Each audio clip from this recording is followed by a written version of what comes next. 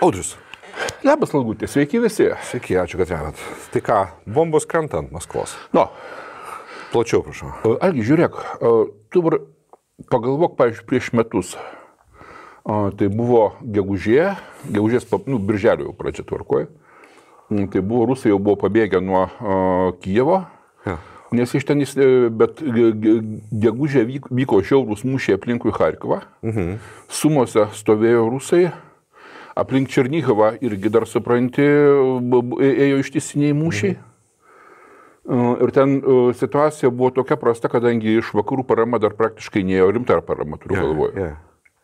Artilerijos neėjo, supranti, oro gynybos raketų didelių neėjo, tankų neėjo, eidavo tik tai ten visokie, žinai, šarvuoti automobiliai, na ir artilerijos svediniai, žinai, s- senai sovietiniai e, artilerijai. Ar, ar tu būtum pagalvojęs praeitais metais, supranti, gegužės mėnesį, kad po metų ukrainiečiai bombarduos Maskvą? Ne per kur. Net jeigu būtų sumokėję, nebūčiau pagalvojęs. Nu. O šiai dienai mes turim situaciją tokią, supranti, kad a, pakankamai didelis a, Rusijos miestukas, šitas čia raidės, kurio aš pamiršau pavadinimą, ten kažkokie šele- šelepino, ševekino, Ši- Jo, kažkas. Ja. šežopino vienu žodžiu. A, Jame buvo virš 40 tūkstančių gyventojų. Šiuo metu pabėgę 40 tūkstančių, ten liko e, keli šimtai viso labo. Jisai visas degas subombintas ir rusų marodieriai plėšia rusų miestą. O, Ir taip nuo dušios plėšia, žinai.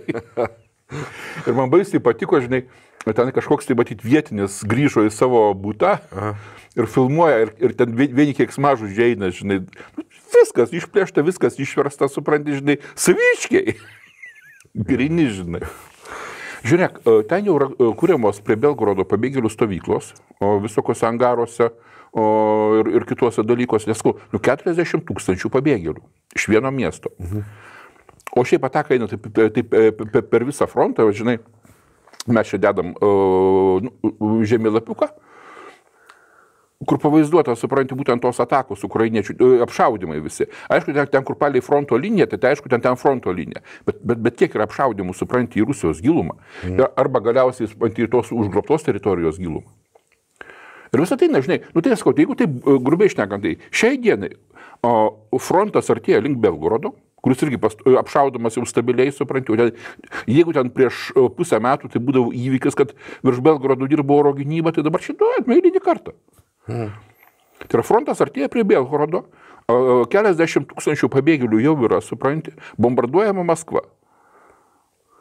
o racionaliai galima paaiškinti, kam tai daryti. Oi, aš manau, kad šiuo atveju ukrainiečiai kerta iš karto, o, sakau, taip, e, siekia iš karto kelių tikslų. Na, O pirmas dalykas tai yra uh, psajopsas. Psichologinė operacija, ypatingai uh, Maskvos šitų prabangiųjų uh, kvartalų, nu, atsiprašau, prabangiųjų rajonų bombardavimą, aš vėlgi dedam žemėlapį. Jūs jį matot, uh, tai yra ten, kur krito tie ukrainiečių dronai. Iš esmės gyvena visas Rusijos elitas, arba taip, sakykim taip, ten gyvena didžioji dauguma to o, šimto tūkstančių šeimų, kurios realiai valdo Rusiją. Mm. Jiems ant galvų pradėjo kristi. Tvarko, jiems dar, dar jiem netiesiai galvų šalia jų namų. Mm. Bet dabar tu, įsivaizduok, pavyzdžiui, gyveni, nu, nu, kaip čia, nu, nu, tu gyveni, pavyzdžiui, Laurų kvartalę. Tai yra paleisk.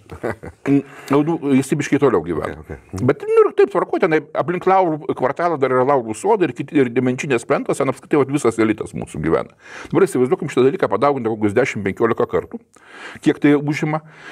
Ir atitinkamai publika, kuri ten gyvena. Ir va šitai publikai ant galvų staiga pradeda kristi dronai. Nu, tiesiai, nu, pas juos, kai sakoma, kažkur tai į daržą kniso. Nu, aptverta teritorija, žinai, kur, kur apsauga, žinai, kur, kur tu, tu, e, jeigu tu važiuoji e, kaip minimum e, senesnių nei, nei trijų metų mersų, tai tavęs pro vartus neįleis, žinai. Nes tu, tu, tu jau mužikas, žinai. Ir o tiems aplink juos sproginėja. Tai yra, jie, jie, jiem tai, kaip rusija sako, plionka lopnula, arba, arba stogas nuvažiuoja. Visiškai, supranti, juos bombardavo. Dar sako, netgi vie- vienas iš tų dronų nukri- nukrito saliginai netoli to, vat, kur Putinas gyvena, žinai, to, to, to, to viso draustinio. Mhm. Na, aišku, dar ten tas netoli, tai reikia manyti kokią 10 km, supranti, bet ko- kaip bebūtų.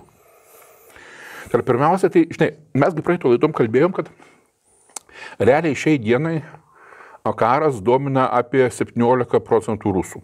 Visi kiti seniai persijungė, supranti, visokius tenai, žinai, pramoginius kanalus, jiems tie visi Solovjovai, supranti, vienodai išviečia, žinai, su Strelkovais kartu. Yeah.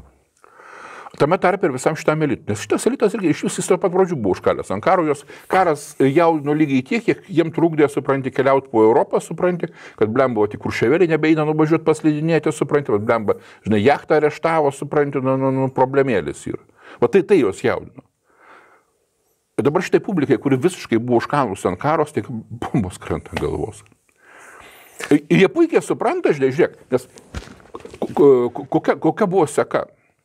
Pradžioje tenai skrisdavo koks nors ant tas ukrainiečiaus dronas, jisai nukrisdavo ten neskridęs iki Maskvos kokį šimtą kilometrų. Mm. O ten buvo vienas, antras, kokie, žinau, gal penki ar šeši, supranti, buvo. Paskui atskrido dronai, supranti, ant Kremliaus. Nu, bet ai, čia, žinai, čia vietiniai, supranti. Mhm. Dabar, supranti, ataką, kurioje dalyvavo apie 30 dronų. Taip, supranti, dalį jų numušė oro gynyba. Taip, dalį, supranti, iš, išvedė iš kurso šitie GPS e, trikdytojai. Mhm. Bet jie vis tiek krito ant prabangiausių Rusijos e, e, kvartalų. Kaip sakoma, kur, kur gyvena patys, žinai, žinai pasakymas, brangieji rusai. Tai čia, e, tai, taip, ant pačių brangiausių rusų nukrito. Yeah. Tai yra, jiems supranti, tai tiesioginis smūgis per galvą. Blemba, hebra, karas eina ir tuoj pradės jūsų. Nes prieš mėnesį, sakau taip, prieš pusmetį buvo pora dronų neskridusių, prieš porą mėnesių buvo pora dronų, žinai, ant, ant, ant Kremliaus. Dabar 30 dronų ant jūsų. Kas bus toliau po pusės metų dar? Ir man, tai Ne, čia įsijungia jų vaizduotė, suprantate, pradė, ta vaizduotė pradeda piešti pačius baisiausius vaizdus, žinai. Aš, e, žinai, kai tą girdžiu tą žinias, aš truputį bijau, kad e, stavai strana agromnė, kad nebūtų. Antras poveikis. Antras poveikis. Na, na.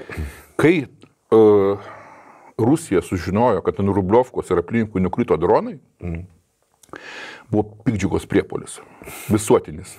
Aš įsivaizduoju. Ai, jos pabombino. Uhuhu, kaip jūs gyvenat, žinai. Yeah.